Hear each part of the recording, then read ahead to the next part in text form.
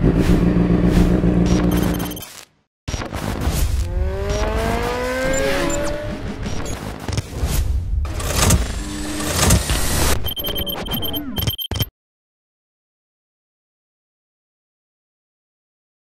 friend, balik lagi di R59 Racing Channel dan tentunya sama gua. Halo my friend, apa kabar semuanya? Semoga kalian selalu diberi kesehatan dan juga eh, keberkahan yang pasti rezekinya juga mengalir lancar. Ini suara gue lagi agak-agak apa ya? Agak-agak kebas soalnya kemarin lagi ikut kompetisi Indonesian Idol. Tapi kompetisinya bukan di depan juri-juri, Sal Iya, kom kompetisinya bukan di depan juri-juri, tapi di depan peserta. Peserta Street Race Polda Metro Jaya yang hampir 1.200 orang. Dan inilah tiga hari teriak-teriakan, manggilin nomor star, kadang udah dipanggilin nggak denger juga, ya kan? tapi terus-terusan, ya kan? Terus ya uh, apa namanya tiga hari nggak berhenti-berhenti dari pagi sampai malam, pagi sampai malam dan inilah hasilnya suaranya kayak gini nih. Jadi bukan karena bukan karena apa namanya ikut kontes eh bukan ikut kontes ikut uh, seleksi atau babak apa itu namanya buat Indonesian Idol nih Oke okay, my friend, jadi hari ini tuh gue ada kabar apa ya, kabar baik, kabar bahagia lah, kabar bahagia buat gue dan juga mungkin uh, buat my friend semua. Jadi gue mendapatkan paket, paket kiriman itu nggak nyangka banget. Nah paket kirimannya tuh apa? Ini kita kasih tahu. Set Wih, kita dapat kiriman dari YouTube. Dari YouTube di sini my friend nih, YouTube. Kita buka aja langsung. Ini belum dibuka karena baru banget nyampe. Uh, kita buka sal. Jadi dapat kiriman nih tuh ya, shipping department uh, United States. Wih, jauh loh. Grove United States. Serius ini dari United States, dari Amerika sini sih ada nih tulisan itu United States ya kan Societ Award Grove oke okay. United States dari Amerika jauh berarti ya iya. Coba bawa, bawa keju. bawa keju. Iya kan? Ini shipping to Ergus Oi, nomor handphonenya ini bla bla Ergus Oi Cipayung, Kecamatan Ciputat, Jalan Dewi Sartika nomor 32D, Kota Tangerang Selatan, Banten 15411 Indonesia. Gitu. Jauh ternyata ya, Chat. Gue pikir dari kantor YouTube di Indonesia. Indonesia gitu. Ternyata ini langsung dari Amerika. Dari sumbernya tuh. Oh iya bener tuh naik pesawat tuh. Tuh bener Airlines, My Indo Airlines tuh flight number. Uh, ada semua tuh. Lengkap ya. Lengkap. Lengkap, lengkap, lengkap, lengkap, lengkap. Oke, kita buka my friend. Kita buka ya. Wih. Masih tertutup dengan rapi dengan rapi. Wah. Ini ada suratnya. Ada ini mau bacain nggak ini? Some 100,000 subscriber just how far have you come? Uh Oke, terima kasih Miss Susan atas kirimannya. Terima kasih, semoga ini menjadi uh, motivasi buat saya dan buat my friend semua mungkin yang baru mulai-mulai uh, bikin YouTube gitu. Ini juga ada congratulations tuh. Congratulations on your subscriber. Sini. Yeay, kita dapat silver button. Wih, present to R59 Racing for passing 100,000 subscriber YouTube.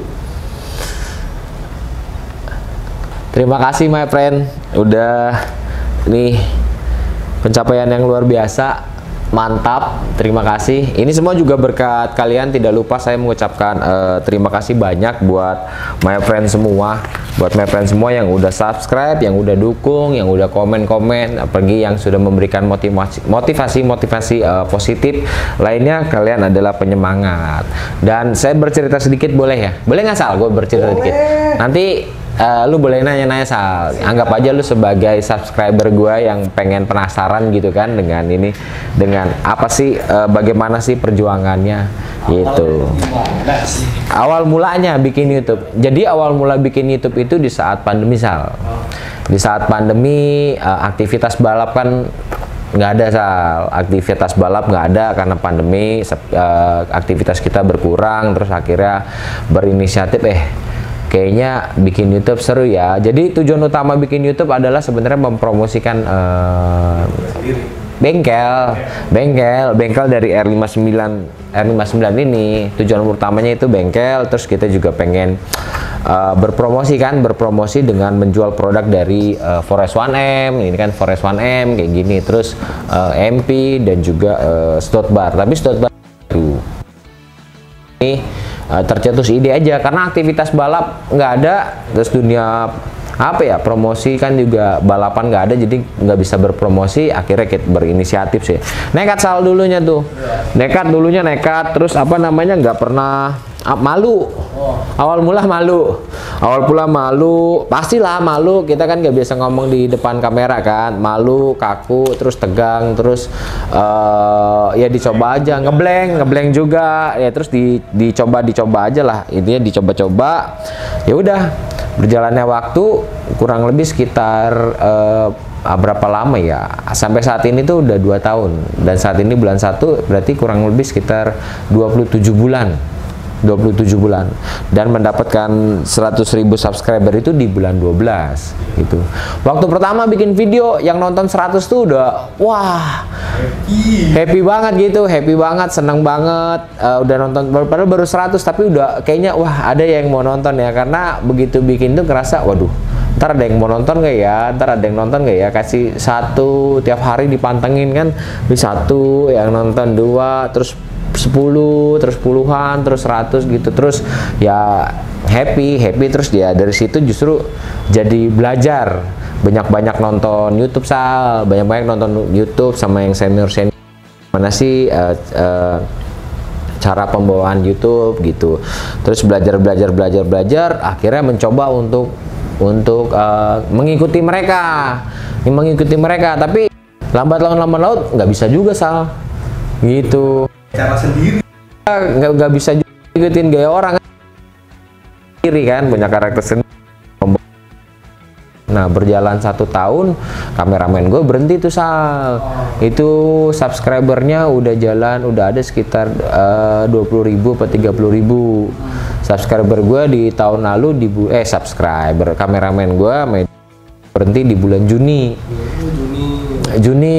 Juni tahun lalu. Terus gue sempet ya udahlah. Eh, apa ya gua nggak bisa kan? Gua gua ngerasa nggak bisa ngedit gua nggak bisa ngambil video gitu kan. Nah Juni stop Juni Juli Agustus stop susah.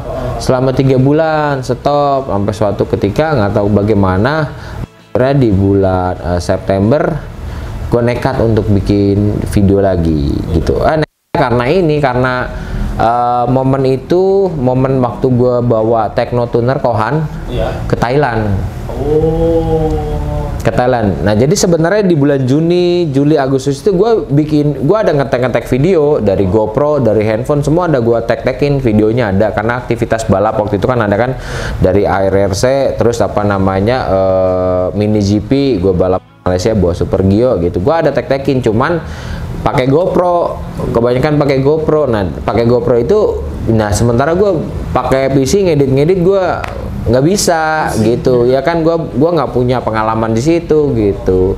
Nah akhirnya pas gue jalan ke Thailand sama si Kohan gue paksa. Iya gue paksa pakai eh, apa namanya handphone. Paksa pakai handphone gitu. Pakai paksa pakai handphone Nah, tapi dari situ ya sinematiknya hilang lah semua gitu. Karena gue udah coba untuk sinematik ada gitu. Berjalan akhirnya ya dipaksa aja lah pakai handphone pakai handphone. Nah cuma aktivitas kan sebenarnya di balap itu kan manajer ya. Jadi manajer itu kan repot kan ngurusin anak-anak lah ya kan? Yang bentar ini translate lah yang ini butuh inilah yang butuh butuh itu. Jadi dulu iya jadi nggak sempat untuk videonya. ngetek videonya. Jadi makanya kadang-kadang ya udah ngetek kayak asal seingetnya gue pas lagi senggang ya gue ngetek-ngetek gitu ngetek-ngetek dan ya udah berjalannya waktu sampai uh, balap di Thailand kemarin gitu. Balap di Thailand kemarin habis ketemuan sama bawa Kohan ketemuan sama Ernun nah terus pulang terus bawa uh, Tekno dengan tim ya dengan Mee eh, ke Thailand untuk latihan gitu. Nah itu gue masih sendiri-sendiri aja, sendiri ngetek-ngetek gitu, sendiri-sendiri ngetek-ngetek terus sampai akhirnya eh, race lah. Dan di saat race itu subscriber gue tembus gitu. Dan mungkin ini adalah sebuah momen ya, momen yang sebenarnya nggak ada di nggak ada di apa namanya nggak planning, nggak nggak ada di bayangan, iya nggak ada di bayangan. Subscribernya bisa langsung melonjak 100.000 ribu dan eh, ya ini hasilnya. Terima kasih banyak. Jadi semakin termotivasi Sal jadi semakin termotivasi untuk memberikan eh, sajian-sajian eh, terbaik buat my friend gitu. Dan alhamdulillah Sal gue dari dulu kalau misalkan ngurusin balap-balap drag gitu ya balap-balap bukan balap drag balap-balap sentul sera gitu uh, selalu imbang. Jadi pihak lawan dua-duanya selalu gua videoin. Nah awal mul awalnya sebelum bertanding sampai akhir setelah bertanding endingnya gua sajiin dia jadi dua-duanya juga positif. Enggak enggak enggak ada mihak satu tim gitu. Terus gua nge-review produk juga ya real aja. Real gitu ada uh, before-nya after-nya semua ada di hasil deno terus kerjaan anak-anak semua real aja sih gitu sal. Begitu.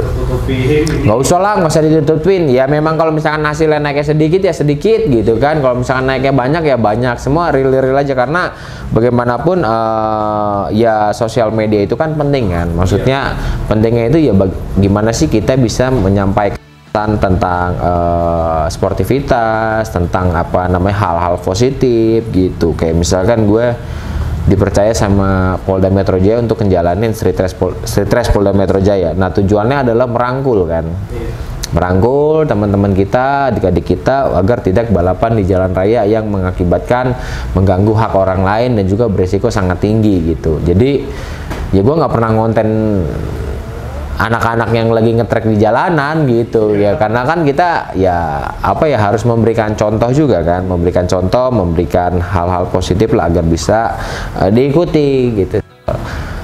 Banyak banget nih sal eh, teman-teman nanya sebenarnya. Lu nggak penasaran sal? Lu kan di sini baru kan? Iya masih banget ah lu nggak ada hal penasaran apa? Baik banyak. Hah? Satu gue penasaran. Apa tuh penasaran? Ada nggak rencana buat racing lagi? Buat maksudnya racing team enggak buat Ngebalap? ngebalap. Wah kalau ngebalap kalau untuk sekedar latihan-latihan mungkin masih masih oke. Tapi kalau untuk sebuah kompetisi eh, kayaknya mikir-mikir dulu. Mikir-mikirnya bukan kenapa-napa. Aktivitasnya sekarang udah lumayan padat.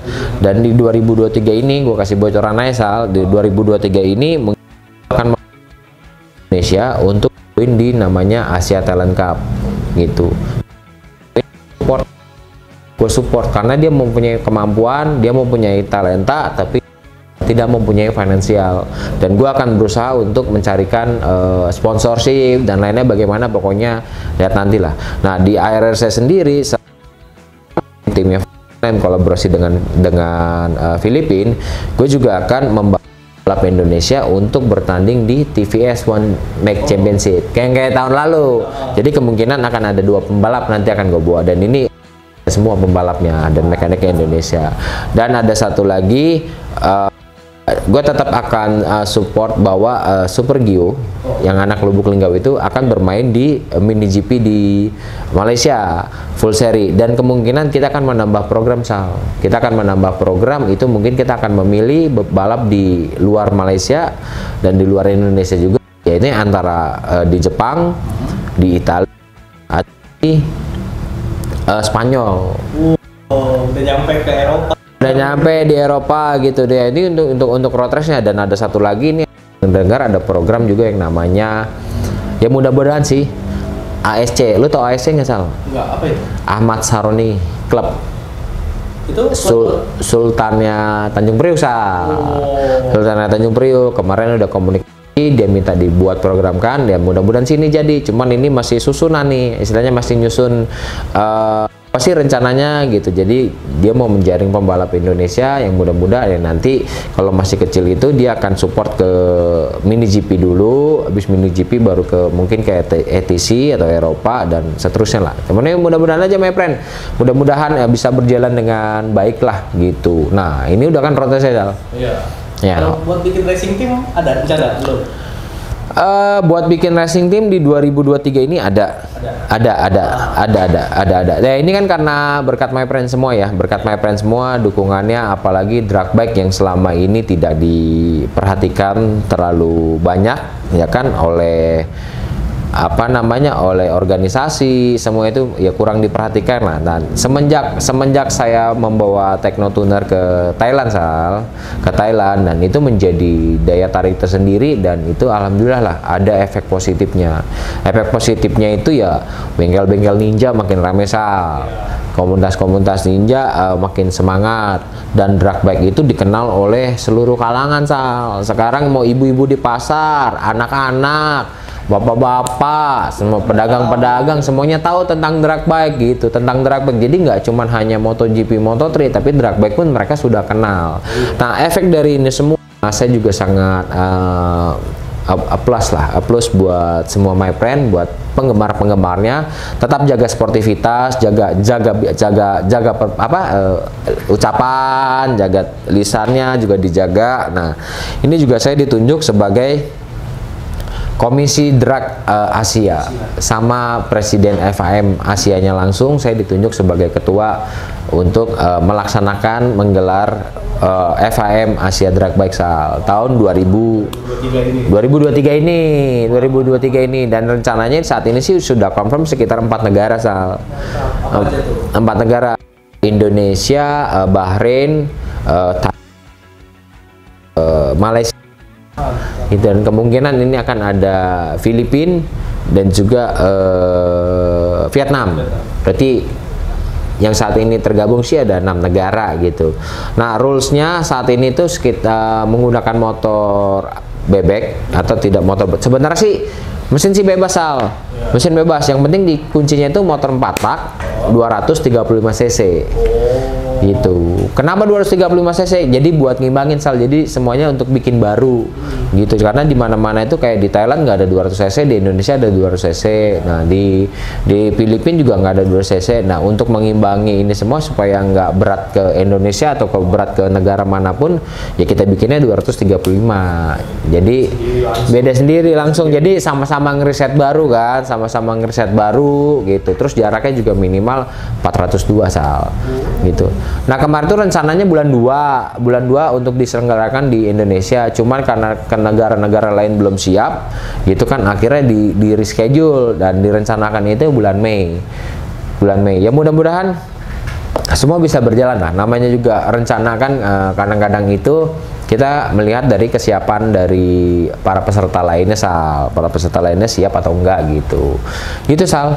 Nah untuk racing team sendiri ya kan karena efek dari situ dari FIM Asia Drag Bike juga dukung saya dan my friends semua juga dukung untuk uh, ikut ikut ikut berpartisipasi atau meramaikan uh, dunia drag bike di Indonesia gitu. Akhirnya saya kompakan. Saya Darius, Om Dito, ya kan ini baru bertiga nih. Kemarin baru ngobrol sama si Boris. Om Boris, ikutan yuk. Kita mau bikin tim drag bike untuk Indonesia. Ya tujuan kita kalau sama Om Darius itu adalah mencari pembalap-pembalap muda untuk kita untuk kita latih dan juga kita ikuti kejuaraan uh, di Indonesia. Nah, tapi kejuaraan yang kita ikuti itu minimal jaraknya 402.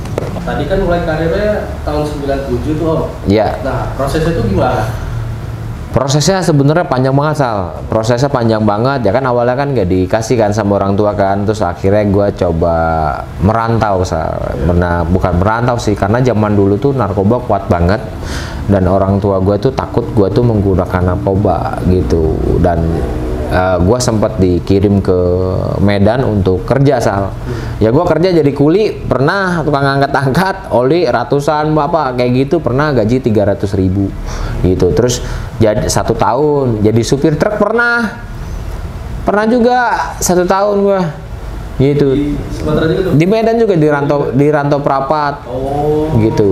Jadi kuli uh, toko spare mobil ya itu di Ekenopan itu nganggul tiap hari nganggul nganggulin oli apa gitu gaji 300 ribu sang sebulan. Gaji 300 ribu sebulan terus jadi supir truk juga pernah terus jadi supir pribadi juga pernah terus jualan uh, di toko handphone juga pernah. Gitu jualan toko handphone di toko Medan. Tapi itu panjang lah Sal. Panjang kayaknya mungkin akan gue lanjutin Sal. Gue akan lanjutin cerita ini kalau misalkan my friend ini berminat ya berminat komen di bawah ini mau mau dengar dengar cerita kehidupan gue karena makanya kenapa gue sangat seneng banget kalau misalkan gue bisa bawa anak-anak Indonesia berkaca sampai uh, dunia. Dan kenapa gue bisa uh, rela berkorban? Ya bukan minta artian bukan minta pengakuan misalnya enggak enggak. Tapi uh, gue iya gue nggak minta pengakuan gitu loh. Tapi pasti ada sebab sebabnya kenapa gue termotivasi membawa anak-anak Indonesia untuk balap internasional bahkan mimpi gue itu sampai dunia itu ada historinya sih. Ada ada sebuah ambisinya gitu. Padahal ya gue dibilang banyak duit ya enggak juga gitu. Tapi gue akan berusaha gitu. Ya mungkin my friend semua kalau yang penasaran kalian boleh uh, komen support berikan kata-kata positif misal. Uh, dan share video ini gitu kan? Share video share video ini uh, biar banyak yang nonton biar saya saya bisa melihat uh, seberapa besar keinginan tahu apa keinginan kalian untuk mengetahui perjalanan karir dari uh, saya atau dari R59 Racing. Karena ini juga ada historinya nih Sal. R59 Racing ini ada artinya juga sebenarnya. Ada ada artinya. Pokoknya tuh uh, banyak banget uh, perjalanan hidup saya yang mungkin bisa kalian gunakan untuk menjadi sebuah motivasi gitu. Yang pasti saya dulu itu anak bandel bandel berandalan gitu kan. Tidurnya di pasar pasar Ciputat pastinya kayak gitu. Pokoknya nanti saya ceritain lah. Oke my friend. Pokoknya gitu ya Sal kita tunggu komenan dari uh, para my friend semua uh, dia semangat atau enggak untuk mendengar cerita karena ntar gue cerita panjang lebar kebanyakan tato ngantuk dia bosen gitu tapi intinya ini bukan untuk membanggakan diri atau menyombongkan diri gitu tapi ini, hanya ingin untuk lah. sekedar sharing berbagi untuk my friend. Nah, kalian kalau ada pertanyaan-pertanyaan juga yang buat nanti akan kita bawa, mungkin kalian bisa komen my friend. Ya, saya nanti disaring pertanyaan-pertanyaannya, nah, nanti bisa kita tanyakan. Oke lah my friend, terima kasih banyak buat my friend semua. Berkat kalian saya bisa mendapatkan ini silver play button ya. Terima kasih banyak kalian karena tanpa kalian juga saya mungkin uh, tidak akan bisa mencapai ke titik ini. Dan kita mari sama-sama terus uh, mengejar mimpi. Ya jangan dikejar mimpi. Mimpi nggak usah dikejar sebenarnya dijalanin aja. Ya kan karena saya awal juga nggak akan kebayang untuk mendapatkan ini tapi ini semua berkat my friend dan ini berkat uh, jalannya Tuhan juga jalannya Allah juga saya bisa mencapai ke titik ini dan saya akan menjadi menjadi sebuah motivasi lebih untuk memberikan tontonan-tontonan uh, atau uh, pengetahuan-pengetahuan tentang dunia motor, dunia balap motor buat my friend semua.